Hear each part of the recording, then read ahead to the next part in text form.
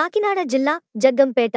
ఏడవ రోజు నవగ్రహ శాంతి హోమం నిర్వహించిన రాష్ట్ర తెలుగు రైతు ఉపాధ్యక్షులునప భరత్ బాబు.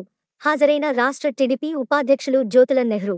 చంద్రబాబు నాయుడు అక్రమ అరెస్టు నుండి ఆరోగ్యంగా బయటికి రావాలని తెలుగుదేశం పార్టీ రాష్ట్ర ఉపాధ్యక్షులు జ్యోతుల నెహ్రూ ఆదేశాలతో కాకినాడ జిల్లా అధ్యక్షులు జ్యోతుల నవీన్ దంపతులచే జగ్గంపేటలో రిలే నిరాహార దీక్ష శిబిరం వద్ద తొమ్మిది రోజుల పాటు నవగ్రహ శాంతి హోమం నిర్వహిస్తున్నారు. ఏడవ రోజు పీటలపై కూర్చుని హోమం నిర్వహించిన గోకవరం మండలం కామరాజుపేట గ్రామానికి చెందిన తెలుగు రైతు రాష్ట్ర ఉపాధ్యక్షులు అడపా భరత్ బాబు కామరాజుపేట ఎంపీటీసీ సభ్యురాలు అడపా సుహాసిని దంపతులు. ఈ కార్యక్రమంలో జ్యోతుల నెహ్రూ పూజా కార్యక్రమంలో పాల్గొని భరత్ బాబు దంపతులను ఆశీర్వదించారు. క్రమంగా నిర్బంధించి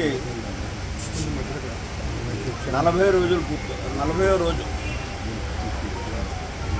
ముప్పై తొమ్మిది రోజులు పూర్తే నలభై రోజుకి వచ్చాం. అయినప్పటికీ ఎక్కడా కూడా ఈ ప్రభుత్వంలో చలనం రాలేదు.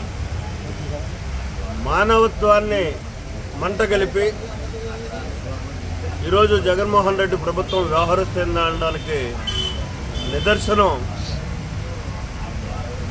చంద్రబాబు నాయుడు అంటే తన కుటుంబానికో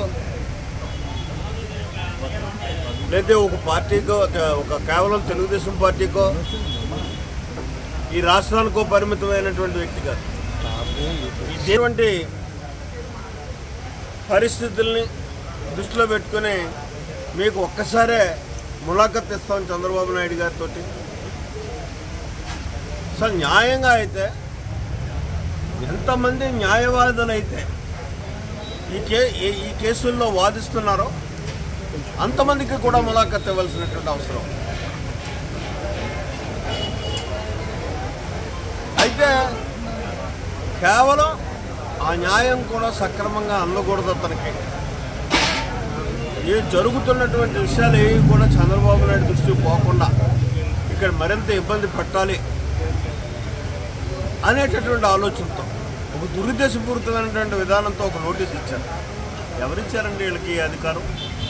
నా ఫండమెంటల్ రైట్స్ని కాపాడుకోవడానికి భారత రాజ్యాంగంలో కానీ జైలు యొక్క నియమ నిబంధనలో కానీ ఎక్కడైనా సరే న్యాయాధికారులు వచ్చి సారీ న్యాయవాదులు వచ్చి